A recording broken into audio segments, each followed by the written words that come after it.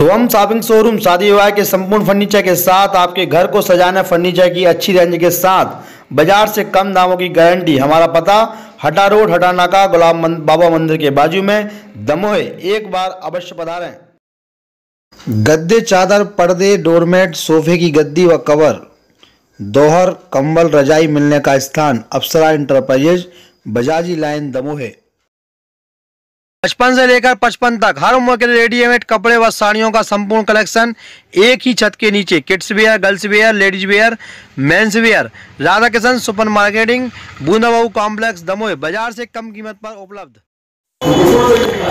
दमोह ज़िले के देहात थाना क्षेत्र के अंतर्गत आने वाली जलपुर नाका चौकी क्षेत्र के आम चौपड़ा में एक युवक के साथ मारपीट का मामला सामने आया है। युवक को जिला अस्पताल लाया गया, जहाँ युवक के द्वारा बताया गया कि घर के सामने एक दुकान के बाहर बैठे थे, जहाँ उसके साथ चाकूबाजी की घटना को अंजाम दिया गया है। तीन लोगों के द्वारा उसके साथ मारपीट की गई है, जिसके बाद युवक जलपुर नाका चौकी पहुँचा, जहाँ से उसे अस्पताल भेजा गया। युवक का इलाज जारी है। पुलिस पूरे मामले में जाँच कर रही है। क्या कुछ कहना है युवक का? आइए सुनते हैं। कहाँ गए हैं? हरिशंकर यादव।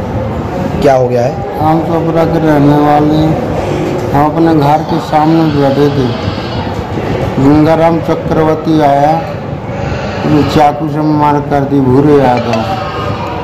और उसका लड़का सोनू यादव चक्रवर्ती। किस बात को लेके हुआ है? कुछ बात नहीं हम लोग अपने आराम से बैठे थे। के रोड पे आने में उसने उसकी दुकान है सामने। उसकी पट्टी है और उस पर बैठे थे दुकान बंद थी। तो उस पर बैठे थे उसने आन के सीधा हंगामा कर दिया।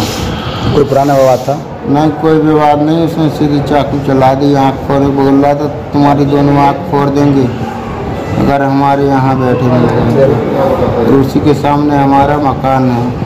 कितने लोग थे? तीन लोग थे भूरे यादव। गंगाराम चक्रवर्ती और सोनू चक्रवर्ती और भूरे यादव।